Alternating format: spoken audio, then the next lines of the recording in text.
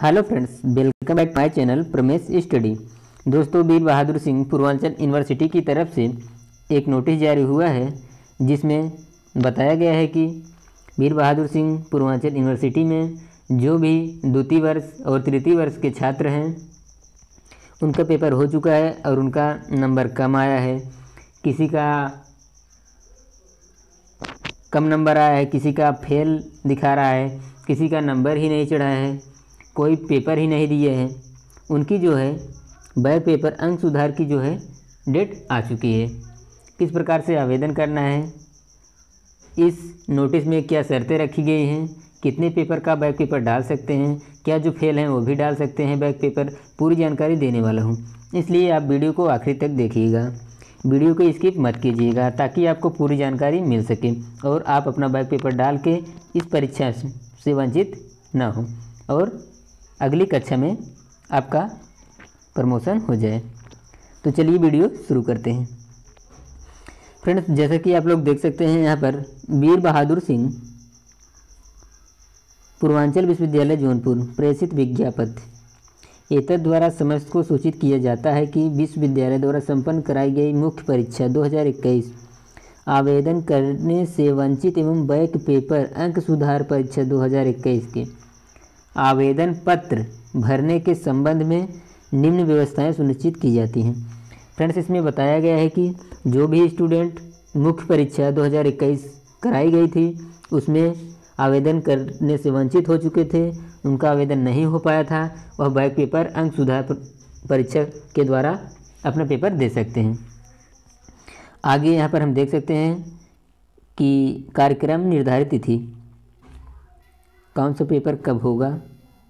क्या क्या शुल्क लगेगा? कैसे जमा होगा? ऑफलाइन होगा कि ऑनलाइन होगा? ओके फ्रेंड्स तो चलिए आपको बता देते हैं।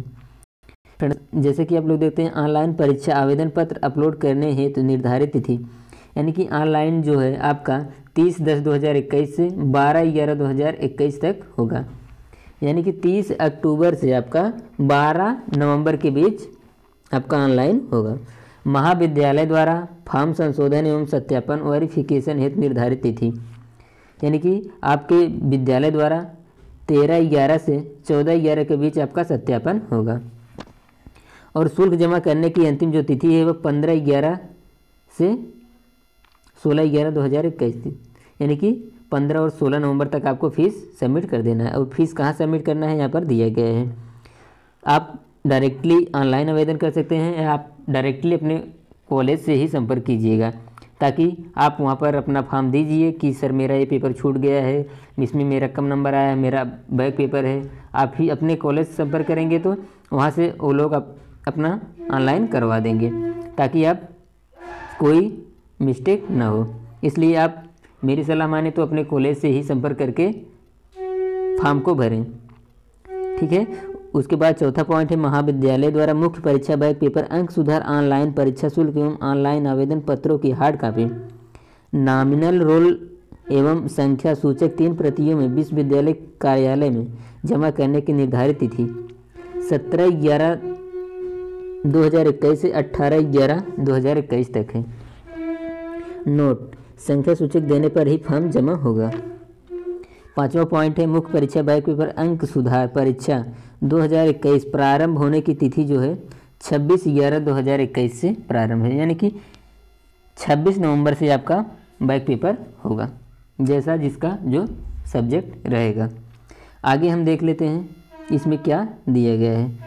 कुछ पॉइंट दिए गए हैं इसे मैं आपको पढ़ के बता देता हूँ, ताकि आप को सारी जानकारी मिल सके। आप इसका स्क्रीनशॉट लेकर पढ़ सकते हैं, फिर भी मैं इसका एक्सप्लेन कर दे रहा हूँ। वीडियो को स्किप मत कीजिएगा, वीडियो को आखिरी तक वॉच करिएगा, ताकि आपको पूरी जानकारी मिल सके। शैक्षणिक सत्र नियमित किए जाने समय अंतरागत मूल्यांकन एवं परिणाम घोषित किए जाने के दृष्टिगत आवेदन की तिथि किसी भी दशा में विस्तृत नहीं की जाएगी। एतत् एवं निर्धारित कार्यक्रम के अनुसार समस्त कार्यवाही पूर्ण करना सुनिश्चित करें। बैक पेपर अंक सुधार परीक्षा हेतु परीक्षा शुल्क रुपये छः सौ प्रति प्रश्न पत्र। फ्रेंड्स, आपका छः सौ रुपये प्रति प्रश्न पत्र के हिसाब से लिया जाएगा। आप जिसमें फेल हुए हैं, जिसका बैक पेपर डालना है, जिसका इम्प्रूवमेंट डालना है, सभी का छः सौ शुल्क लगेगा। तीसरा पॉइंट है मुख्य परीक्षा 2021 के बीए सबसे इम्पोर्टेंट पॉइंट है, इसे देखिएगा। मुख्य परीक्षा 2021 के बीए द्वितीय वर्ष, यानी कि बीए सेकेंड ईयर एवं BA third year B com द्वितीय वर्ष एवं तृतीय वर्ष. बीएससी द्वितीय वर्ष एवं तृतीय वर्ष. बीएससी कृषि तृतीय एवं चतुर्थ वर्ष के उत्तीर्ण, अनुत्तीर्ण, अनुपस्थिति, परीक्षार्थी, मुख्य परीक्षा 2021 में संपन्न कराई गई परीक्षा के समस्त प्रश्न पत्रों अथवा चुने हुए प्रश्न पत्रों में बैक पेपर अंक सुधार परीक्षा हेतु आवेदन कर सकते हैं। फ्रेंड्स, इसमें बताया गया है कि बीए बीएससी बीकॉम के जो स्टूडेंट हैं सेकंड ईयर और थर्ड ईयर के, वही बैक पेपर डालेंगे। और बीएससी कृषि के जो है, वो थर्ड ईयर और फोर्थ ईयर वाले अपना बैक पेपर अंक सुधार पत्र डालेंगे। चौथा पॉइंट हम देख लेते हैं। स्नातकोत्तर अंतिम वर्ष के परीक्षा 2021 के उत्तीर्ण, अनुत्तीर्ण अनुपस्थित परीक्षार्थी मुख्य परीक्षा 2021 में संपन्न कराई। गई परीक्षा के समस्त प्रश्न पत्रों अथवा चुने हुए प्रश्न पत्रों में बैक पेपर अंक सुधार परीक्षा हेतु आवेदन कर सकते हैं। यानी कि फ्रेंड्स, जो पोस्ट ग्रेजुएट के स्टूडेंट हैं, उनके लिए भी यह व्यवस्था लागू है। वो भी अपना आवेदन कर सकते हैं, चाहे वह फेल हो या पास हों। यदि फेल होंगे तो अब इम्प्रूवमेंट नहीं, तब अंक सुधार डालना होगा। अनुत्तीर्ण है फिर भी फॉर्म तो वही डाला जाएगा, फिर आपको पास किया जाएगा। यदि आप दोबारा से फेल होते हैं, यदि आपका कम नंबर आता है तो वही पुराना ही आपका अंक मान्य होगा।